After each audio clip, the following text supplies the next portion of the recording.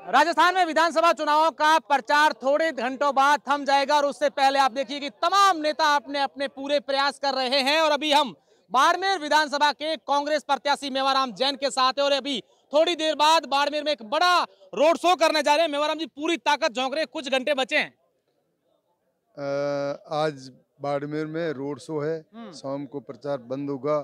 तो road show में अब आप देख रहे हैं लोग चारों तरफ़ आ रहे हैं और जिस तरह से लोगों में उत्साह है भीड़ है बाड़मेर में ये ऐतिहासिक रोड शो होगा और हमारे सब कार्यकर्ता इसमें लगे हैं। सभी ए, आप देखेंगे जिस जोश और उत्साह के साथ हम ये रोड शो करेंगे दिखाएँगे कि किस तरह से बाड़मेर की सीट मज़बूत है और हम इसको 100 परसेंट जीतेंगे इसमें कोई रोक नहीं सकता। मेवाराम जी बाड़मेर की राजनीतिक गलियारों में जब भी बात होती है मेवाराम जैन का नाम आता है तो कोरोना और हॉस्पिटल लोगों को याद आता है कि किस समय उस कोरोना के समय में लोग घरों से बाहर नहीं निकले तो मेवाराम जैन उसी समय अस्पताल में थे अपनी जान की परवाह किए बिना। अब वो बातें सब लोग याद कर रहे हैं। देखो जो वो कोरोना काल था ऐसे भयानक त्रासदी जितने भी अभी ये सत्तर अस्सी साल के लोग भी बैठे हैं किसी को याद नहीं कि ऐसी त्रासदी कभी आई थी। ऐसे भयंकर टाइम में और पूरे भारत में और राजस्थान और बाड़मेर की जो स्थिति थी, भाई भाई के हाथ नहीं लगा रहा था, बेटा बाप के पास नहीं जा रहा था, कोई पास में हाथ मिलाने को तैयार नहीं था, हॉस्पिटल में कोई मरीज़ के नज़दीक नहीं जा रहा था और उस समय में हमने डॉक्टरों को विश्वास में लिया, प्रशासन को विश्वास में लिया भोमा साहब को विश्वास लिया और मैं खुद उन सबको लेकर अंदर हॉस्पिटल में प्रवेश किया, हमने मरीजों से मिला तो आधा तो तकलीफ़ उनकी मेंटली वो कम हो गई कि देखो हमें मिलने तो आए हैं, नहीं तो उनके मन में इतना दर्द था कि हम वापस जाएँगे या नहीं जाएँगे, हमारा क्या होगा? तो ये आधा बीम हमने वो निकाला, ऑक्सीजन की कमी रहने नहीं दी, इंजेक्शन की कमी रहने दी, बेड, पौन तीन सौ की जगह हमने आठ सौ बेड की व्यवस्था कर ली चाड़ोर हो जैसलमेर हो गुजरात से भी पेशेंट आए, सबको हमने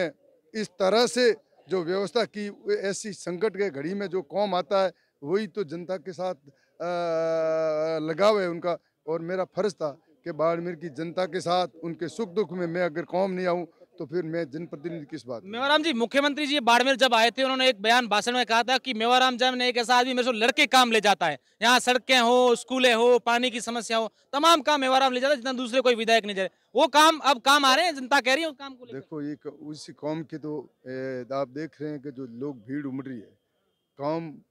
जिसकी भी कौम हुआ कौन सा क्षेत्र कोई बाकी छोड़ा? हम सबने शिक्षा में, चिकित्सा में, पानी में, बिजली में, अस्पताल में, योजनाओं में, बाड़मेर में जितना काम हुआ, ऐतिहासिक कौम हुआ। और माननीय मुख्यमंत्री जी ने दिल खोल के दिया, और अगर ज़रूरत पड़ी तो हमने उनसे झगड़ के भी माननीय मुख्यमंत्री से लिया, क्योंकि बाड़मेर की जनता के लिए मुझे आवश्यक था। जनता के लिए मैंने जो कुछ मांगना था, माननीय मुख्यमंत्री जी ने दिया मना ही नहीं किया। और मैं बाड़मेर की जनता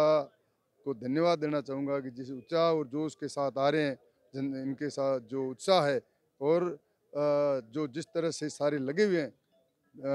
कार्यकर्ता तो ये 25 तारीख को शानदार वोटिंग होगी और